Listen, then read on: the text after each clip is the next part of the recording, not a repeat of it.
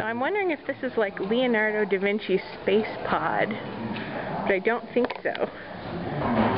It's called The Motion of Fire, and it says Leonardo wrote about the nature of fire, its constant movement, and its ability to destroy.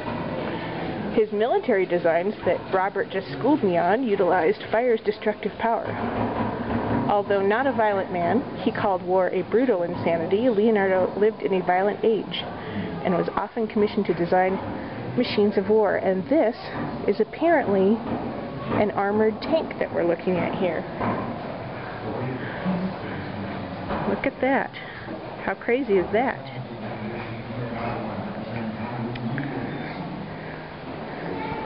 And it would be operated from the inside by eight men who would load and fire the cannons and turn cranks to move the wheels.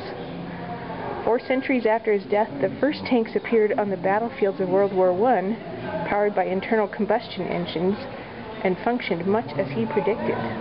So, shall we go inside?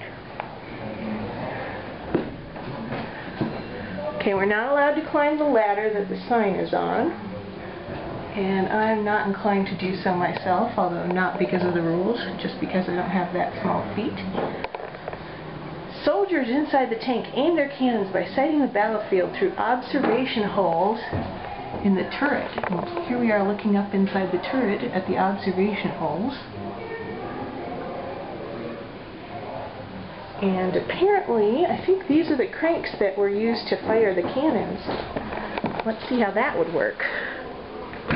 Oh, I'm too big of a pansy to do that.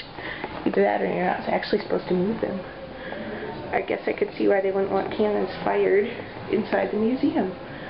So, call that one good. you were absolutely right, Robert. This is his tank. That's kind of amazing.